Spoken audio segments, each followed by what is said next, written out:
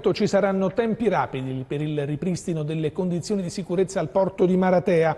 Questo è l'esito della riunione di oggi in prefettura a Potenza, convocata per rispondere alle esigenze delle imprese della pesca. I dettagli nel servizio di Eugenio Montesano.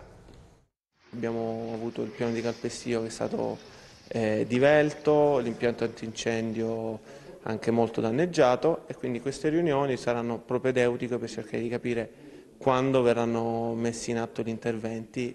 Maratea riavrà presto la piena agibilità del suo porto. Dopo la mareggiata di novembre e quella che lo scorso 20 gennaio ha severamente danneggiato il Molo Nord, quello più aperto al mare dove lavorano i pescherecci e non vige la concessione all'attracco per i privati, il sindaco della Perla del Tirreno assicura il ripristino avverrà in tempi stretti, pienamente in anticipo rispetto all'inizio della stagione turistica. Il contratto con la ditta esecutrice dei lavori è stato firmato il giorno 16, il direttore dei lavori dovrà dare indicazione alla ditta per l'esecuzione dei lavori di messa in sicurezza del Molo Nord. Sono lavori semplicissimi di esecuzione perché si tratta di interventi sulla pavimentazione di poca importanza, il ripristino delle griglie e un controllo sulla tubazione dell'andigenti. Ma i pescatori non sono tranquilli. Noi ci aspettavamo, come c'era stato promesso nello scorso tavolo eh, di sicurezza portuale, lo stanziamento di veloci risorse, non l'iter normale che riguarda